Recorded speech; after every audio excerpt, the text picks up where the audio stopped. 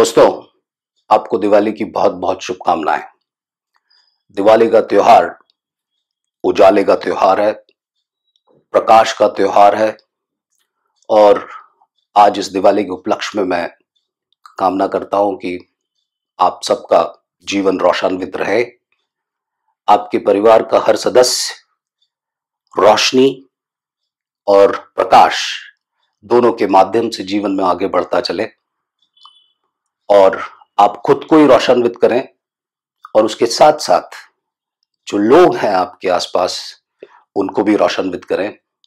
कुछ लोगों की ज़िंदगी में शायद उतनी रोशनी नहीं होती और जब हम अपनी रोशनी उनको देते हैं और जब हम अपना प्रकाश उनको देते हैं तो हमारा प्रकाश भी बढ़ता है और हमारी रोशनी भी बढ़ती है।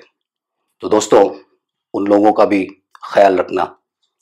कभी कभी जब दिवाली के बारे में सोचता हूँ तो लगता है कि अगर एक अच्छा परिवार है, एक स्वस्थ परिवार है तो हर रोज दिवाली है।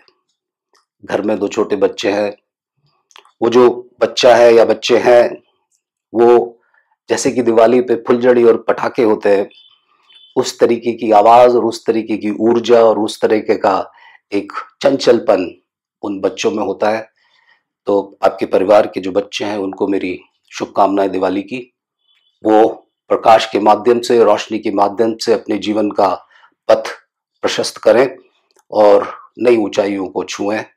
यही मेरी, उनके लिए मनोकामना है। परिवार में बुज़ुर्गों का होना एक बड़ी बात होती है और एक सौभाग्य की बात होती है। तो आपके परिवार में जो बड़े बुज़ुर्ग हैं, उनको मेरा प्रणाम। और वो प्रकाश हैं, परिवार के सूर्य के रूप में प्रकाश है। तो वो और रोशनवित हों और दीर्घ आयु को प्राप्त हों, यही मेरी कामना उनके लिए है। आप हैं दीपक तो आपकी पत्नी है किरण। आप हैं दीपक तो आपकी पत्नी है गरिमा। आप हैं दीपक तो आपकी पत्नी है उजाला और रोशनी।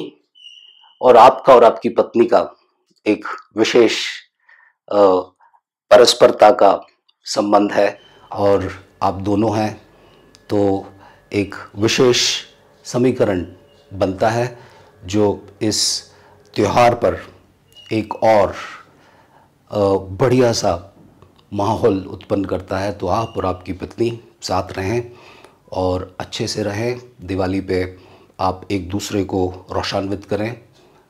ये मेरी कामना है और दोस्तों, आप मस्त रहें। आप स्वस्थ रहें। और दिवाली है 2019 की और आप सब अपने परिवार के साथ में ज़बरदस्त रहें। आप सबको दिवाली की बहुत ढेर सारी शुभकामनाएँ। थैंक यू वेरी मच जय हो।